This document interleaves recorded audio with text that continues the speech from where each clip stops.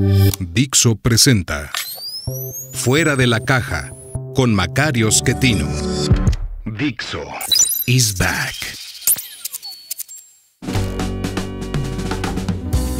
Bienvenidos, esto es Fuera de la caja.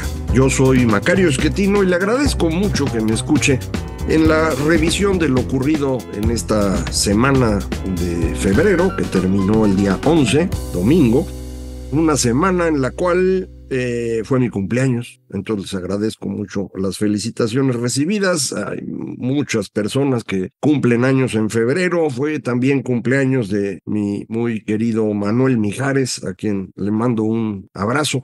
Es asiduo también de esta emisión y le agradezco mucho por ello.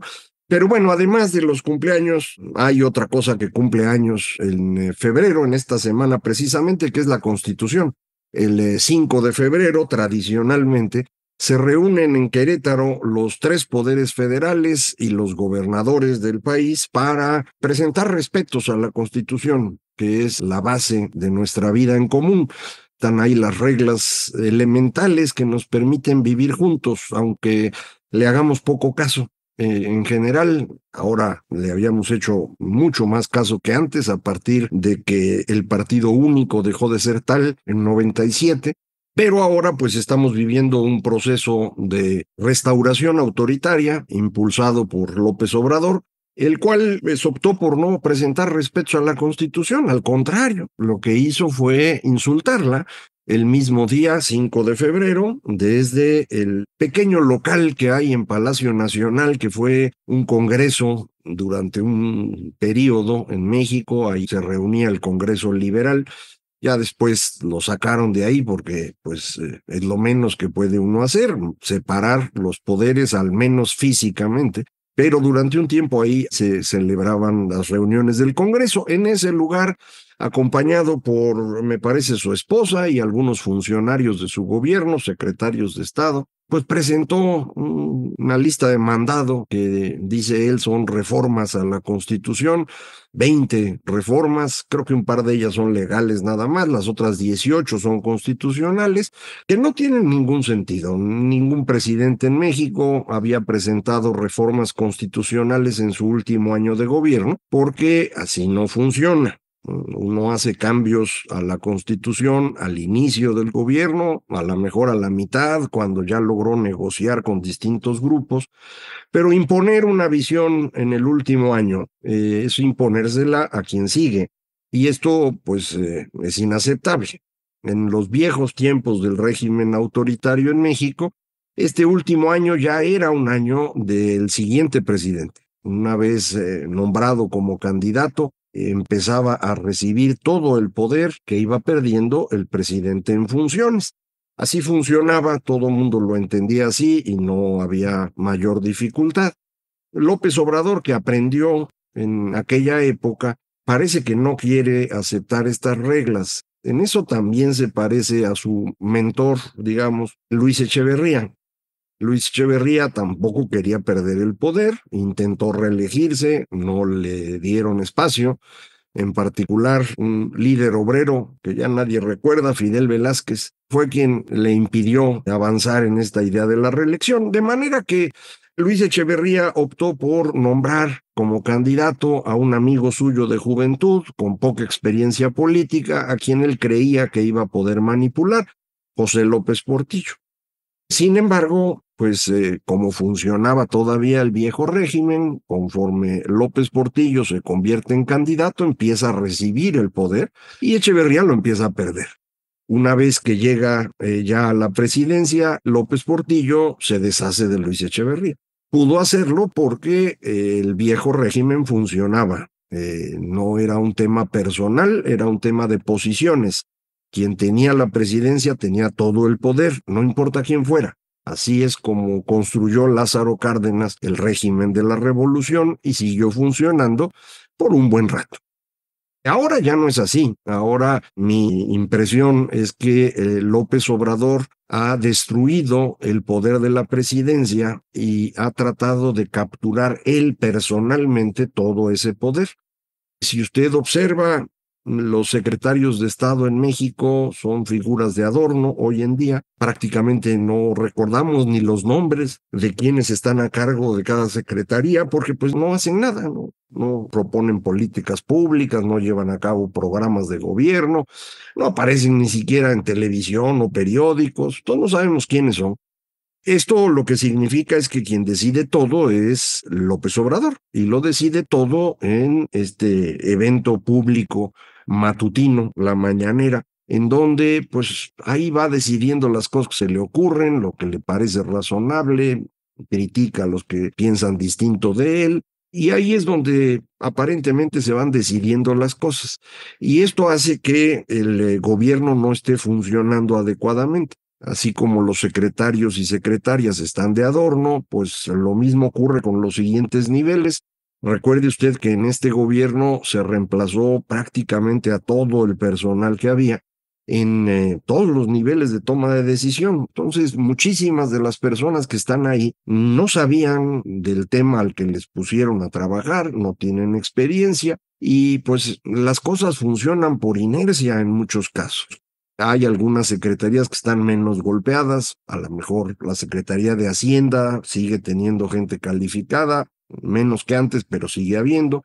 En relaciones exteriores se han retirado una gran cantidad de embajadores, pero pues sigue habiendo todavía algo de este espíritu de cuerpo que tenía la diplomacia mexicana y con eso medio la van librando pero otras secretarías pues no hay nada, nada. Entonces, al no poderse aplicar las medidas que al presidente se le ocurren a través del sistema normal de la gestión pública, el presidente se ha recargado cada vez más en los militares, los cuales tampoco están calificados para muchas cosas que tienen que hacer hoy, no las pueden hacer bien, siguen órdenes, eso sí, y algo es algo, los demás funcionarios ni caso le hacen ya al presidente, entonces, bueno, cuando menos los militares sí le hacen caso, o eso parece, pero, insisto, no pueden hacer muchas cosas porque no se prepararon para eso. Su trabajo es otro. Bueno, ese otro trabajo es el que ahora no sé si pueden hacer, es decir, la defensa nacional.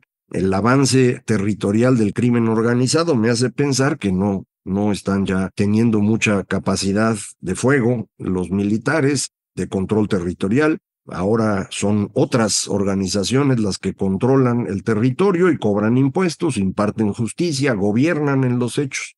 Esto es una gran tragedia, es lo más grave que estamos enfrentando y muchas personas no lo alcanzan a percibir.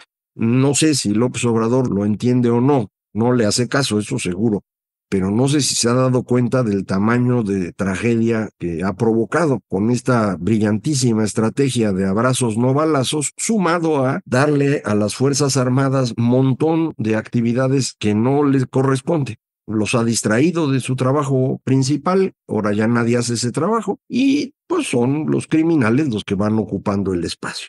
Bueno, en la lista de mandado le decía que presentó López Obrador el 5 de febrero, yo identifico tres tipos de medidas que aparecen ahí, unas que no tienen sentido porque son cosas que o ya están en la Constitución o nunca deberán estar. Lo que ya está, por ejemplo, es esto de indígenas, afroamericanos o afromexicanos, lo que tiene que ver con derecho a la educación, al empleo, a la vivienda, eso ya está. A lo mejor le quiere perfeccionar, no veo por qué tendría que hacerlo en este momento, insisto, entonces no tiene mucho sentido. Otras cosas no deben irse hasta allá, medidas que tienen que ver con el agua, con lo del fentanilo y otras drogas, los vapeadores, ese tipo de cosas es preferible que no lleguen a la Carta Magna, no es para eso.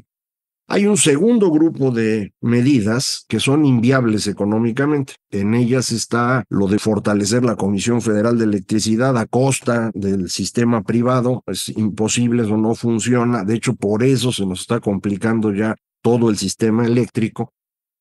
También ponerse a hablar de temas asociados al petróleo, petroquímica y demás son cosas que no deben estar ahí y son inviables, es decir, económicamente no salen las cuentas. También es el caso de las pensiones. Se le ocurrió anunciar, porque con eso pues quiere ganar la elección, que le va a dar a todos pensión de 100% del último sueldo. Ya a la hora que envió el documento resulta que no son todos. Hay un tope de cerca de 17 mil pesos, que cubre a la gran mayoría de los trabajadores. Sin embargo, para que eso pueda ocurrir, se necesitaría que las personas trabajaran muchos años cotizando y que esa cotización fuera del orden de la cuarta parte de sus ingresos. Eso no pasa. Es decir, ahorita ya se hizo una modificación en la ley para que a través de las AFORES la pensión que se va a obtener al final sea más razonable. Y para eso lo que se hizo fue elevar lo que se aporta cada mes. Estaba en el orden de 6% del ingreso, se va a llevar hasta el 15%. 15 es una cantidad ya importante. Más arriba de 15 está bien difícil. Usted dice, no, pero que lo pague el patrón. En realidad no lo paga el patrón, lo paga el trabajador. No importa si el dinero sale de la bolsa del patrón, para el patrón ese es un costo salarial y por lo tanto va a contratar menos trabajadores si ese costo salarial va creciendo. Entonces acaban pagándolo los trabajadores, no hay duda. Y el problema más importante para el caso de México es lo del periodo en el que se cotiza. La cuenta que le estoy comentando, yo estimé una persona que trabaja 45 años cotizando, de los 20 a los 65. Eso no lo tenemos en México. Muchísimas personas trabajan para distintos patrones. Ahora con el sistema de Afores, usted se puede mover entre patrones y no se pierde las semanas cotizadas. Incluso si trabaja para el gobierno en muchas partes, no se pierde la cotización y eso ya es un gran avance contra lo que teníamos antes. Pero si usted se sale para poner un negocio propio, para eh, trabajar en la informalidad, y usted no tiene la idea de cotizar por su cuenta, sí va a perder esas semanas. Y eso a la larga es bien costoso. Entonces, tratar de dar esta pensión del 100% del último sueldo a las personas, incluso con ese límite que se está sugiriendo, requiere un gran esfuerzo fiscal que es imposible. En este momento el gobierno mexicano gasta más de lo que tiene de ingresos y no poco más, mucho más. ¿Cuánto más? El equivalente a todas las pensiones, dos billones de pesos. Eso es el déficit del gobierno. Cada año en este momento se está incrementando la deuda en dos billones de pesos. Muchísimas personas siguen repitiendo el cuento del presidente de que la deuda no ha crecido. Es una mentira, sí ha crecido.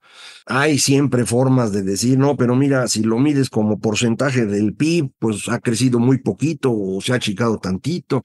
Bueno, no importa. En pesos y centavos, en este 2024 le falta al gobierno dos billones de pesos para cerrar sus cuentas. Si a eso le va usted a sumar más pensiones, pues ya no van a ser dos billones, van a ser dos billones y medio o tres billones. Y el asunto es que eso no se puede hacer. Si lo hacemos, en dos o tres años esto se vuelve una tragedia. De hecho, ya sabemos que para 2025 vamos a tener que tener un ajuste fiscal. No importa quién gane, el quien gane puede hacer la diferencia en cómo se va a hacer ese ajuste fiscal, pero se tiene que hacer de cualquier manera. Y finalmente hay un tercer grupo de iniciativas presentadas por el presidente en su lista del súper que tienen que ver con la destrucción de la República. Que el Poder Judicial deje de ser un poder autónomo e independiente, que los jueces sean elegidos por voto popular, que desaparezcan las diputaciones que llamamos plurinominales, todo esto es una construcción para concentrar el poder en eh, el grupo del presidente, de López Obrador. Ni siquiera en la presidencia, ¿eh? otra vez, yo insisto en esto porque para mí es eh, importante la diferencia.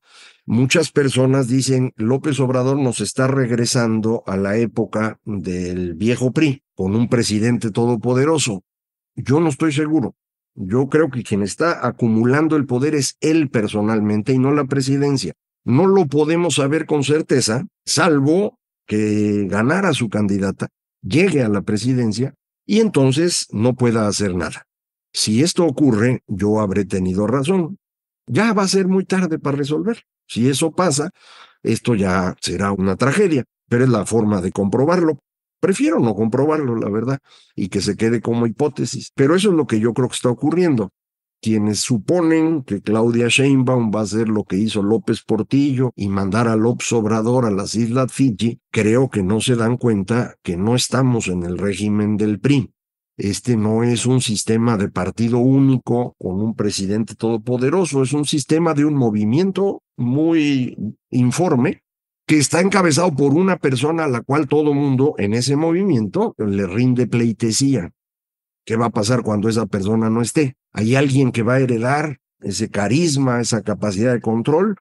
Pues no se ve claro, ¿eh? Yo no veo cómo la señora Sheinbaum pueda heredar eso, no se me ocurre. De manera pues que eh, su capacidad para enfrentar a López Obrador está muy limitada. No va a tener herramientas para hacerlo. No sé si tenga las habilidades políticas necesarias, pero las herramientas eh, operativas pues yo no las percibo.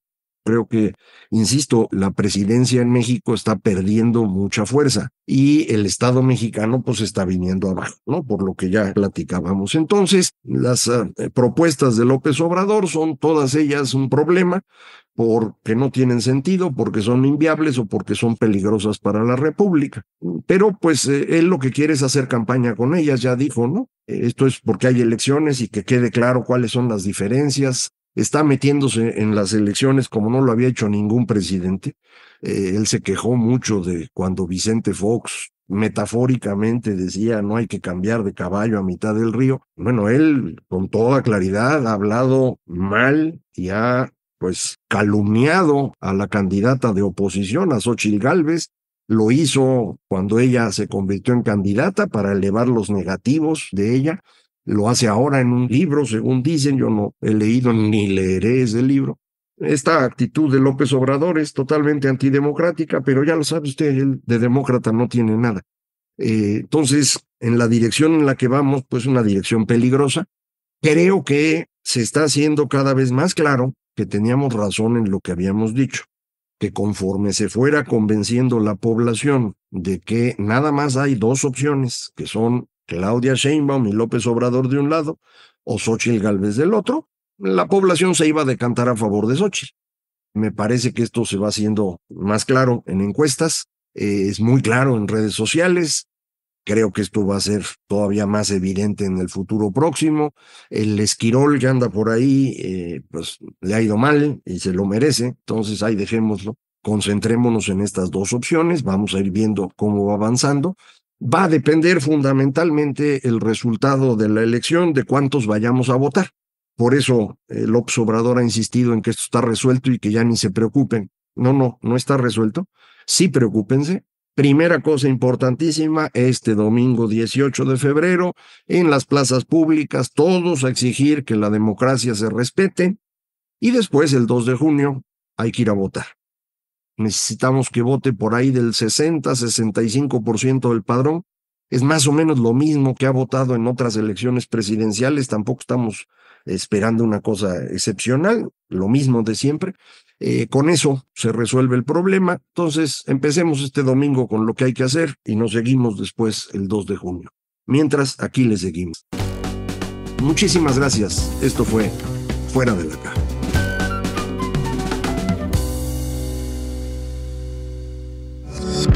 Dixo is back.